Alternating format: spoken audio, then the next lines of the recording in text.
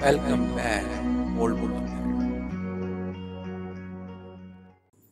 Hello student, welcome back in Old Book Acad. Uh, today we will discuss about animal kingdoms. In this uh, chapter, we are discussing phylum Annelida and second is phylum Arthropoda. So, Arthropoda and Annelida, they have general characters and one by one discuss and Arthropoda also one by one discuss. So, let's start now. Phylum Arthropoda sorry phylum Annelida Annelida के अंदर हम बात करेंगे कि इसमें किस प्रकार के एनिमल होते हैं और ये एनिमल कैसे रहते हैं या इनकी बॉडी किस प्रकार की बनी होती है और इनकी बॉडी में क्या क्या ऑर्गन्स पाए जाते हैं ठीक है सबसे पहले हम देख रहे हैं यहाँ पर कि ये एक्वेटिक है। That are aquatic terrestrial bilateral symmetrical होते हैं। ठीक है? Segmented with organ system level organisation सबसे मेन चीज़ क्या है? आपका ये दिख रहा है ऑर्गन सिस्टम ऑर्गेनाइजेशन है इन एनिमल्स में। प्लस सिमेट्रिकल है बायोसिमेट्रिकल बॉडी में। टेरिस्ट्रियल भी है एक्वेटिक भी है। उसके बाद क्या है? सेगमेंटेड बॉडी क्या है? सेगमेंटेड है। आप नीचे डायग्राम देख रहे हैं। बॉडी सेगमेंटेड दिख रही है। ये बॉडी ऊपर से ही नहीं, अंदर तक सेगमेंटेड है बॉडी उसके बाद एक्वेटिक एनिलीड्स लाइक नैरिस ये नैरिस है।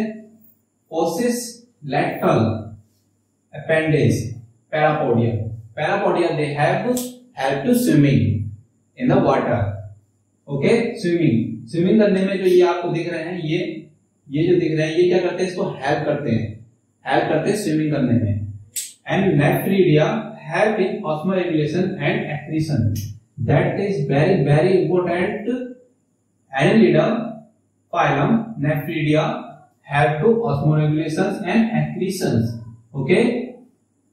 आपको ये रिमेंबर रखना है कि एनिलिडा जो है फाइलम उसके अंदर एक्सक्रीशंस किसके द्वारा करते हैं एनिमल तो आपको बताना होगी कि के द्वारा करते हैं ओके और फिर neural system consist of ganglia ठीक है? Connected by lateral nerve to double ventral nerves cord ठीक है? मतलब क्या बोला? न्यूरल सिस्टम जो बनता है किसे? गैंग्लिया ठीक है, जो न्यूरल सिस्टम है वो गैंग्लिया से कनेक्टेड बनता है प्लस कनेक्ट किससे होता है? Lateral nervous system plus double ventral nervous system क्या है? डॉर्सल आपका जो है नर्वस सिस्टम डबल है. वेंट्रल नर्व सिस्टम भी इसमें कोड के रूप में है. इसके कोड के रूप में. तो आपको ये जो है पूरे पॉइंट इसके मेजर मेजर पॉइंट लिए गए इसमें.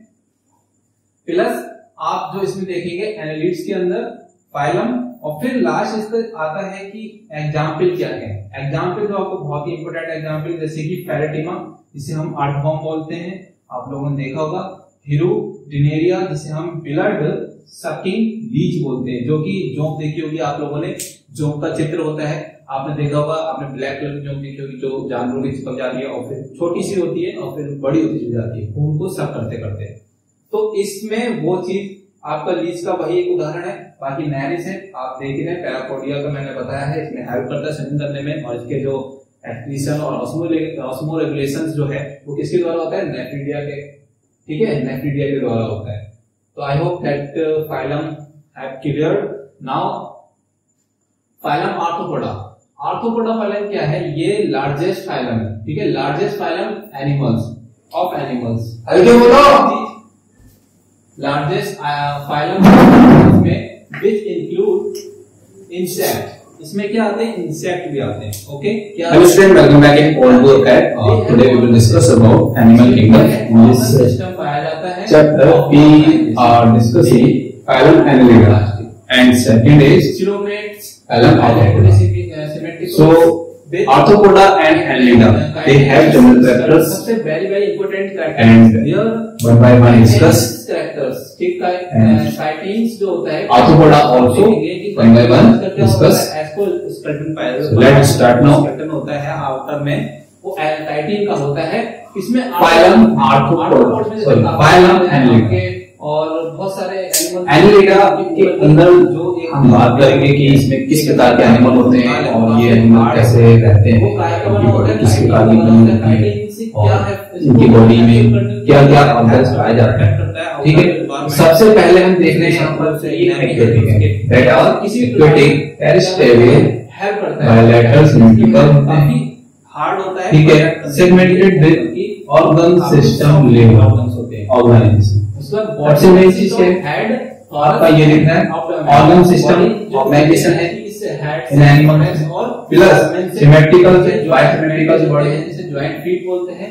क्या भी है? उसके बाद क्या सेगमेंटेड बॉडी क्या है? सेगमेंटेड आप नीचे डायग्राम देख रहे हैं। बॉडी सेगमेंटेड दिख रही है ये बॉडी ऊपर से ही नहीं अंदर तक सेगमेंटेड है। उसके बाद aquatic and lives like Nereis ये नैरिस है Oasis lateral open appendage. Parapodia parapodia they have to have to swimming in the water. Lecture में ओके स्विमिंग स्विमिंग करने में जो ये आपको दिख रहे हैं ये आ जाते हैं ये जो दिख रहे हैं ये क्या करते हैं इसको हेल्प करते हैं। समझ सकते हैं। हेल्प करते हैं स्विमिंग करने में। लेक्चर दिया and nephridia help in osmoregulation that is very very important annelida जो होता है phylum nephridia have to osmoregulation and accretions. Okay? Animals के अंदर आपको ये रिमेम्बर रखना है कि एनिलिडा जो है, phylum, उसके अंदर एक्सक्रीशंस किसके द्वारा करते हैं एनिमल तो आपको बताना होगा कि नेफ्रिडिया के द्वारा करते हैं ओके मतलब और फिर neural system consist of ganglia ठीक है? Connected by lateral nerve to double ventral nerves वो है ठीक है? मतलब क्या बोला? न्यूरल सिस्टम पे बनता है किसे? गैंग्लिया ठीक है? जो न्यूरल सिस्टम है वो गैंग्लिया से कनेक्टेड बनता है प्लस कनेक्ट किससे होता है? Lateral nervous system plus double ventral nervous system क्या है? डॉर्सल आपका जो है नर्वस सिस्टम डबल है वेंट्रल नर्वस सिस्टम भी इसमें कोड के रूप में है। इसके कोड के रूप में आपको ये जो है कुल पॉइंट इसके मेजर मेजर पॉइंट लिए गए इसमें। प्लस आप जो इसमें देखेंगे एनालिटिक्स के अंदर फाइलम और फिर लास्ट इस पर आता है कि एग्ज़ाम्पल क्या है। एग्ज़ाम्पल तो आपको बहुत ही इंपोर्टेंट एग्ज़ाम्पल जैसे कि पैराटिमा जिसे हम आर्थॉम बोलते हैं। आप लोगों ने देखा होगा हिरू डिनेरिया जिसे हम ब्लड सकिंग बीज बोलते हैं, जो कि जोंक देखी होगी आप लोगों ने। जोंक का चित्र होता है। आपने देखा होगा, आपने ब्लैक कलर जोंक देखी होगी, जो जानवर की चिपक जाती है, और फिर छोटी सी होती है, और फिर बड़ी हो जाती है। उनको सब करते हैं।